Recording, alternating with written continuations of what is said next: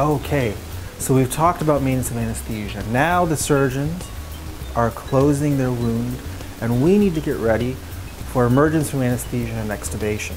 And you're going to have to discuss with your attending the specific details and specific uh, extubation plan. But typically, at this point towards the end of the case, we're going to dial down our volatile anesthetic. And the timing of when you dial things down and the, all that information you should discuss with your attending. That's just part of your learning. But at some point, you're going to be turning off your volatile anesthetic. Also, you may want to change your gas mixture at this point.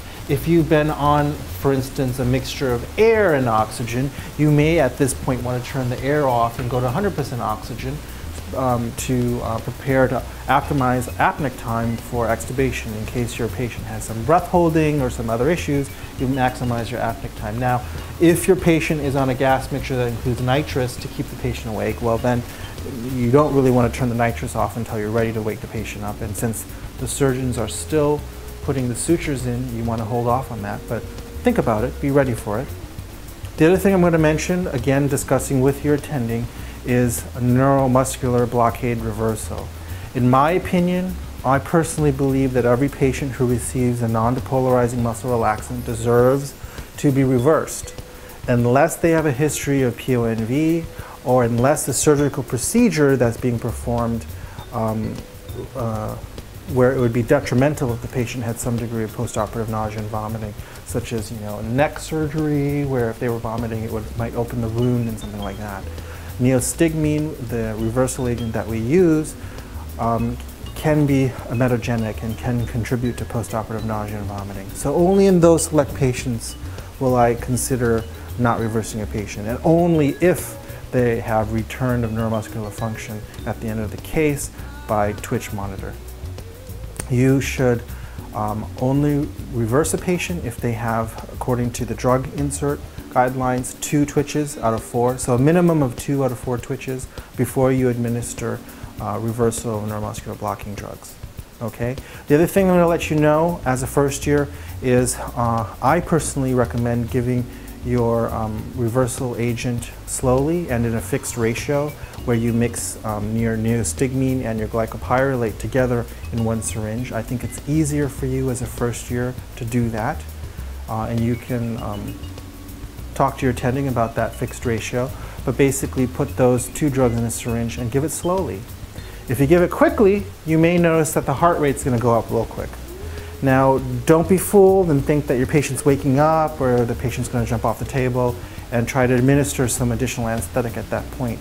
The heart rate's going up in response to the glycopyrrolate in your reversal agents. Okay? Now let's say then they've finished stapling or suturing, you've reversed your patient, the anesthetic's turned off, and you're ready to wake your patient up.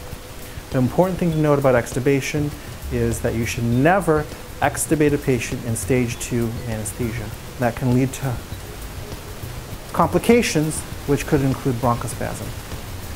You also never want to extubate your patient without your attending in the room. Um, obviously, you, you don't want to do anything without your attending.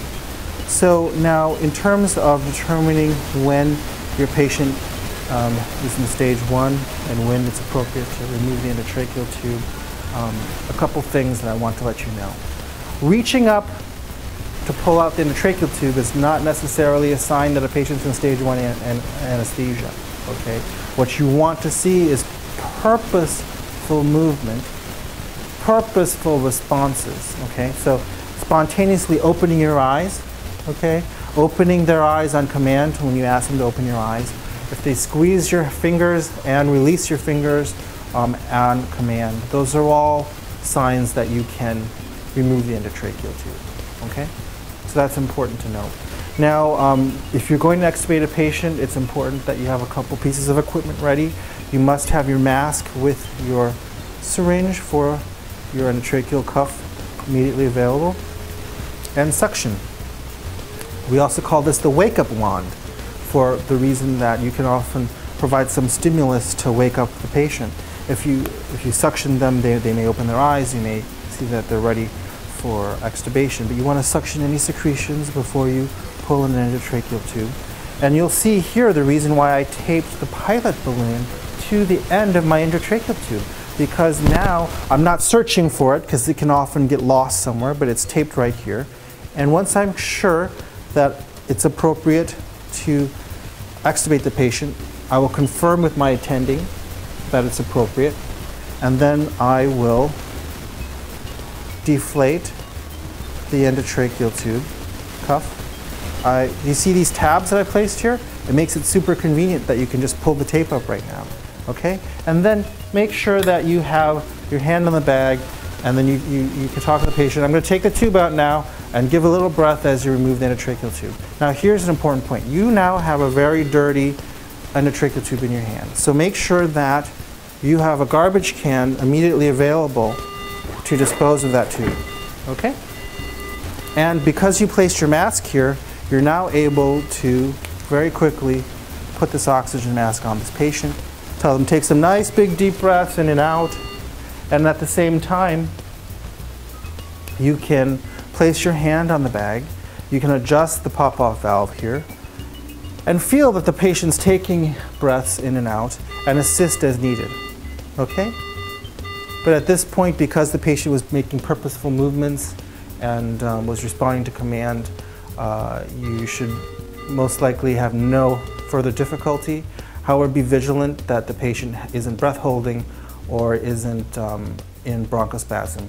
And again, you can do that by monitoring their ability to ventilate themselves by having your hand on the bag as you put the mask over their face.